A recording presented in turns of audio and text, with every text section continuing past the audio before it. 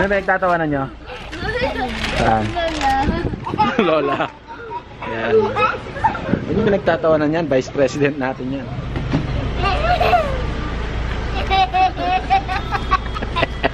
Nagtatawanan nyo ba? Si Lola Lily. Ano si Lola Lily?